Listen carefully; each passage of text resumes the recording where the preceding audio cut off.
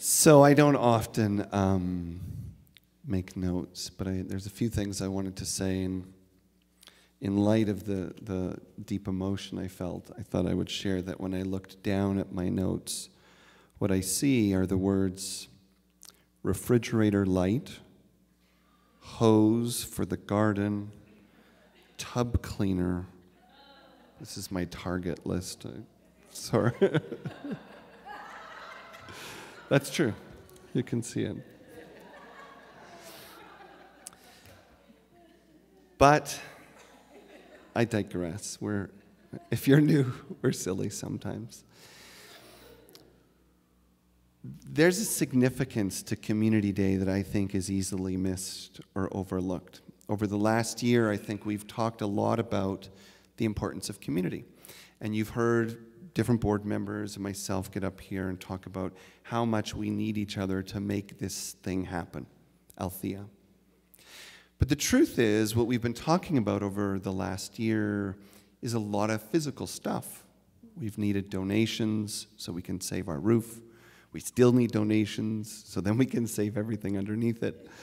Um, we're going to have this great roof and, you know, the walls falling down stove exploding. But anyway, we'll get there.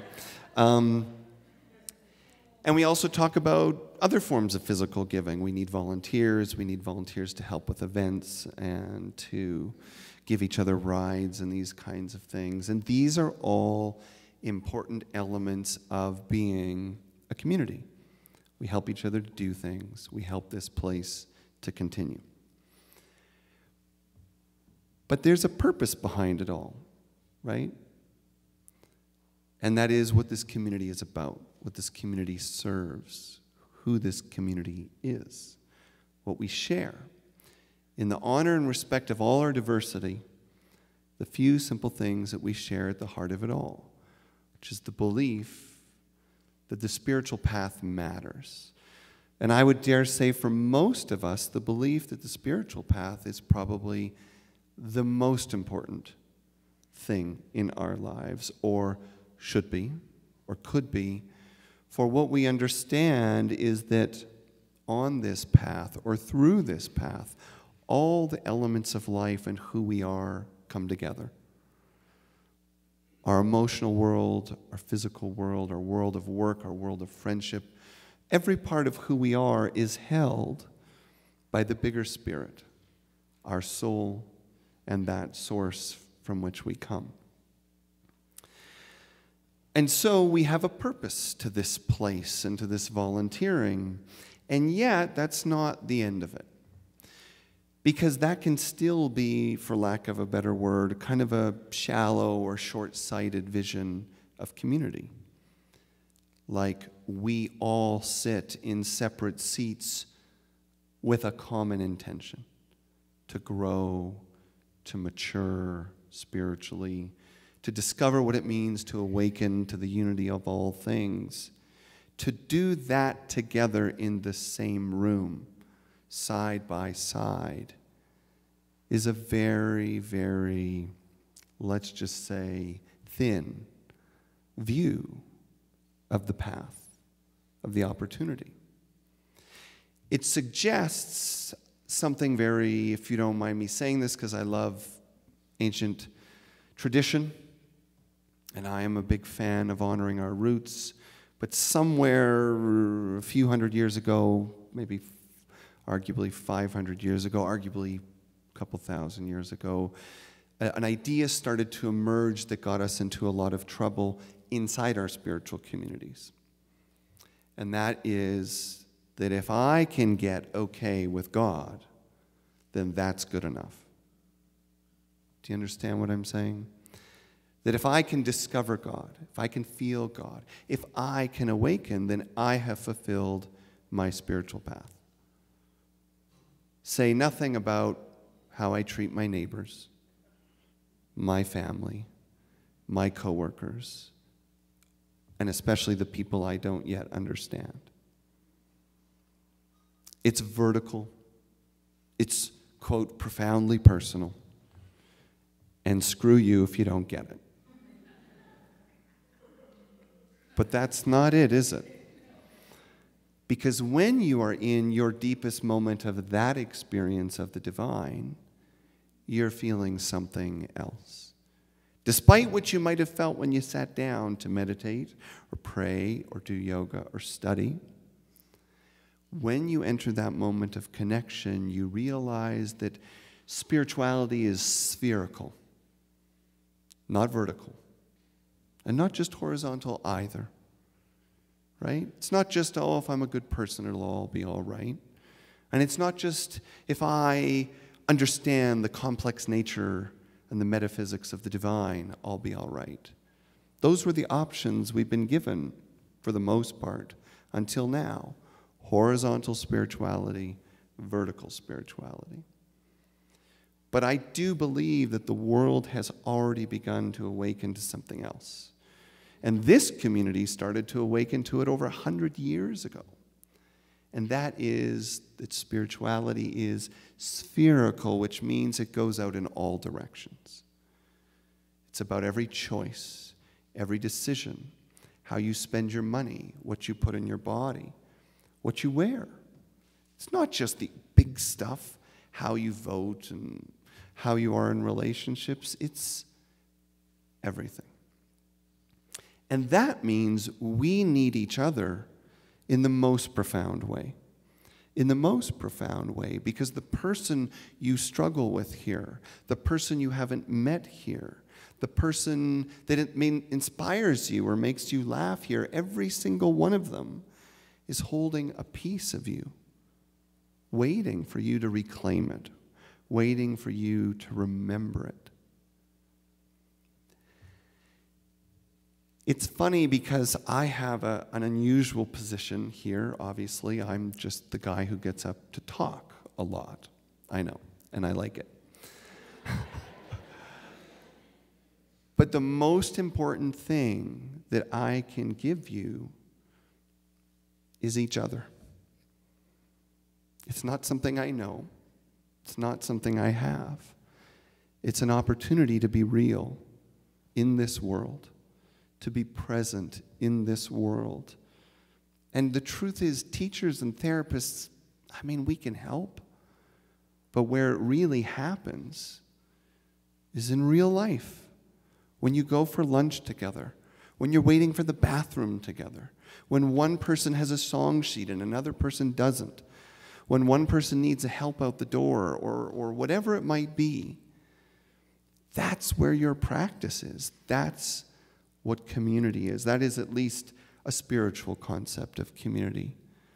So that we remember that deep in the heart of all our difference and diversity lives the same source spirit, longing for itself again, and the unique reunion and connection that can only be made between you and that which you are in relationship to.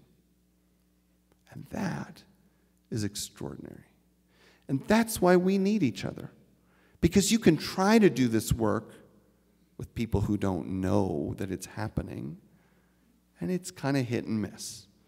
You know, the grocery store or the coworker or the family member, and you want to process how you felt about what they said and who they are and how that revealed your truth. Doesn't always go so well, does it? But what we do when we show up here as communities, we make an unspoken commitment to be here for each other, with each other, together. And it's not going to be easy for everyone. And we're going to do it in different ways. And some of us more openly and loudly, and some of us more quietly and intimately. But make no mistake, we need each other. For the most important work of life happens in relationship. And I dare say, to find God in nature, in solitude, in the peaceful beauty of our own hearts, it's big work, but that's the easy stuff. To take what you find there and then show it, express it, embody it, that, that's big work. That's difficult work, and yet that is the most rewarding work of all. Because what comes from that is an awakening to the love and the beauty that is everywhere, and our freedom, our freedom to recreate, to express, and become one moment at a time. It sounds fairly simple to say, but as you know, the work is lifelong. And that's why spiritual traditions, time after time, age after age, nation after nation, have all said build your community, find your fellow travelers, and help each other along the way. And that, to me, is what this day is about. People say, What am I really committing to? Is this a religion? Is this a cause? Am I going to be on a list in some national registry? I don't think so. We're not submitting that, are we, Pam? No. We're too busy. It's a commitment to yourself, to your path, to being the fullest expression of yourself, your soul, your spirit that you can be, and making that claim or setting that intention in such a way that you are willing to be held accountable, that you are willing to do it with others, and in the process, give back with your time, your talent, yes, even with your money so that we can continue this important work as a community, not just for ourselves, but ultimately for a better world. So, let's take a moment and close these thoughts. And before we begin our community song, which I'm told used to be an old favorite. So we hope that's true for those that have been coming and sustaining this community for, for decades and beyond. But I'm going to invite you first just to take a moment to close your eyes and just hold in your heart who you would like to be in community with. And then explore that circle. Let it be a spiral. And maybe today the only commitment you can make in your heart is just to be a little kinder and gentler with yourself. Or maybe it's going to be to extend that love and, and understanding to the few family members you came with. Or maybe you can just feel your way into something deeper the willingness to find yourself in anyone and everyone, the willingness to love and learn fearlessly.